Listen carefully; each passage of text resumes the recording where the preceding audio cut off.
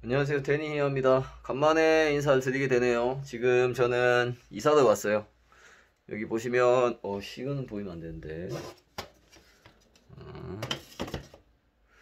이사를 왔고 어, 문정 문정동에 이사 왔습니다. 일하는 곳이 이 근처라서 어, 이사를 왔는 상태고 지금 집 상태는 이래요. 평수는 전세도 오게 됐고 평수는 음, 8평에서 10평?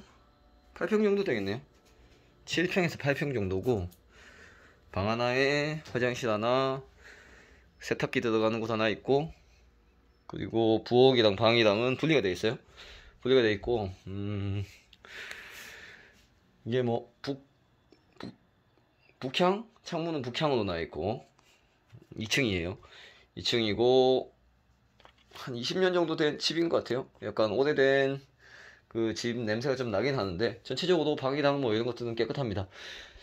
전에 있던 곳은 역삼동이었는데 역삼동에 반지하였어요. 300에 45? 관리비 포함? 뭐 나는 나쁘진 않은데 반지하다 보니까 아무래도 좀 몸 컨디션도 안 좋아지고 일하는 곳이 좀 멀어서 약간 그런 단점이 있었죠. 음. 그래서 4월, 5월 4일까지가 한 3년 정도 계약인데, 계약 끝나고, 은, 어, 지금은 이제 보증금만 받으면 되는 상황입니다. 그 집주인 아줌마가 그 방이 안 나가면 계속 돈을 월세를 뭐 나갈 동안 2, 3개월은 내라는 뭐 그런 얘기를 하더라고. 그래서 아, 이 아줌마가 미쳤나 그런 생각을 했는데 일단은 4월 5월 4일에 그 돈을 돌려줄 것 같고 뭐 트집을 잡을 수도 있을 것 같아요. 청소는 좀 해놨고 거기서 너무 청소를 안 해서 한 번 가서 청소 싹 하는데 혼자 하니까는 한 3시간, 4시간이 걸리더라고요. 청소는 그 평소에 좀 해야겠다 이런 생각 좀 했습니다. 음... 지금 그 청소를 돈을 업체 주 업체에다 청소를 돈을 주고 하려니까 얼마 들더라? 한 20만 원에서 15만 원에서 20만 원 사이 들더라고요.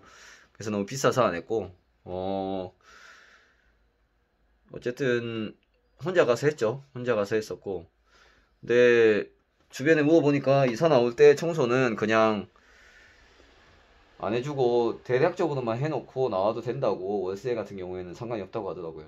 그리고 만약에 집주인이 그런 식으로 해서 예를 들면 뭐 1, 2개월 동안 월세 그 집 계약되는 동안 월세를 더 내라 뭐 그런 식으로 얘기를 하면은 그냥 구청에 바로 신고를 하라고 그렇게 얘기가 나왔었어요. 일단은 그랬는데 아줌마가 다음번에 전화하니까 뭐 고분고분해서 일단은 일단락 지웠는데 며칠 동안 며칠 동안 좀 심란했죠.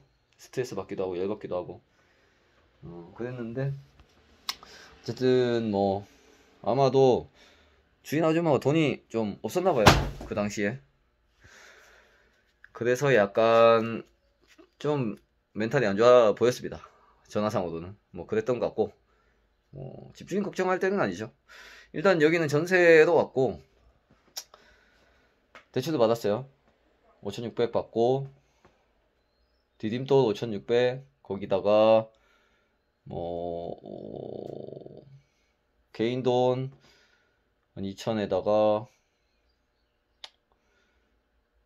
또 대출 일반 대출 한 1200 정도 했어요. 1200 정도 하고 70%밖에 안 나와서 디딤돌이 원래 80%였으면은 그냥 다 들어올 수 있는 거였는데 그렇게 들어왔고 뭐 일하는 곳이랑 거리는 스케이트보드 타고 cruise board 타고 한 15분에서 20분이라서 상당히 만족스럽고 괜찮습니다.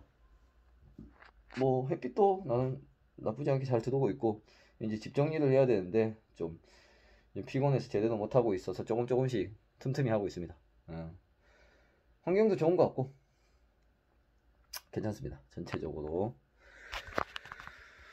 어 찍는 이유는 그냥 일단은 유튜브를 좀 주기적으로 해볼까 하는 생각이고 뭐 개인적인 일기 용도도 쓸 수도 있는 거고 아무튼 뭐 그렇습니다. 여러 가지 다양한 방면을 해볼 수 있겠죠. 음. 자 일단 집을 청소를 해야 되는데 지금 이사 온 지가 한 10일? 10일까지는 안 되고 7, 8일 되는데 아직도 상태가 너무 안 좋아요. 예. 이 정도면 많이 청소한 거예요, 근데. 음, 거의 뭐 집에 오면 자고 다시 일어나고 해서 그런데 원래는 밥을 다 사 먹었는데 지금 좀 안 사 먹고 있고 택시비도 줄이고 해서 하루에 한 만 원에서 2만 원 정도 나가는 좀 세이브 하는 것 같고 또또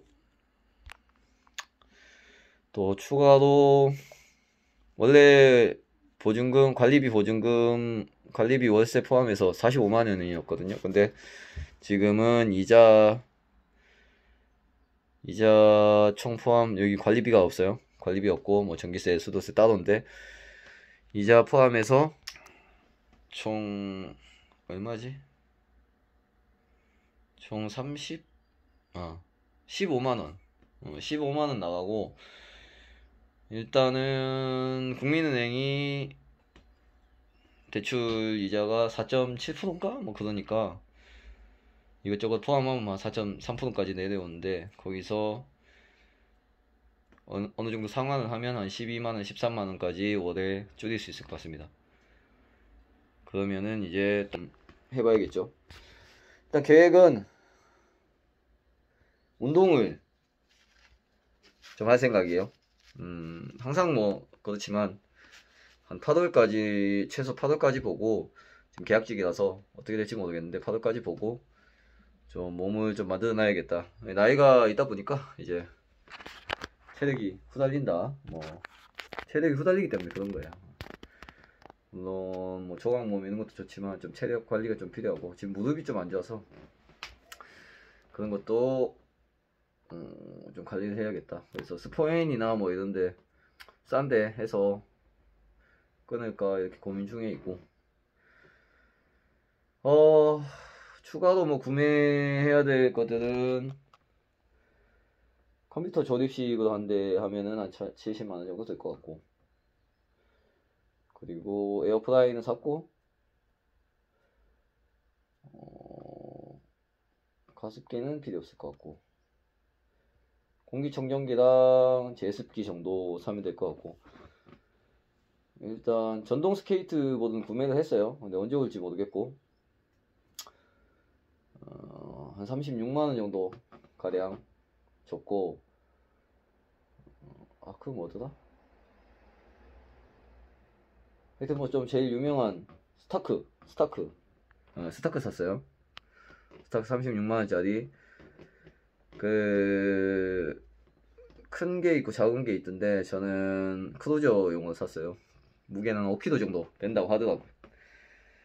어쨌든 이제 좀 책도 읽고 약간 여유 뭔가 이렇게 뭐라고 해야 되나? 좀 자기 관리를 좀 해야 될 시기가 온 것 같습니다. 뭐 여러 가지 지금 일하는 것 이외에도 부수익을 좀 창출해야 될 것 같고 뭐 주식이나 아니면 부동산 쪽도 공부를 해야 되는데 부동산은 아무래도 지금 돈이 없어서 당장은 힘들 것 같고 뭐 주식을 하든지 코인 쪽은 제가 좀 약간 문외한이라서 안 될 것 같고 주식 쪽이나 아니면은 뭐 판매 판매 쪽 온라인 판매 그런 쪽을 추가로 좀 더 진행을 해봐야 될 것 같습니다. 일단은 진행 상황은 틈틈이 올려주고 유튜브는 뭐 제가 기술도 있는 것도 아니고 대충 대충 할 거니까 하는 대로 뭐 열심히 해보겠습니다. 공부 좀 하면서 해야겠죠. 아무튼 그렇습니다. 오늘은 그럼 이만 안녕. 아 졸라 어색합니다. 음. 일단 뭐 숨 쉬듯이 숨 쉬듯이 유튜브를 해야 된다 뭐 이런 생각을 하고 있는데 힘들 것 같습니다. 어, 힘들 것 같고 짬 시간을 좀 내봐야겠죠. 어쨌든 숨 쉬듯이 좀 자기 개발 좀 해야겠다. 뭐 이 정도 생각만 갖고 있습니다. 에, 그럼 다음에 뵙도록 하죠. 안녕.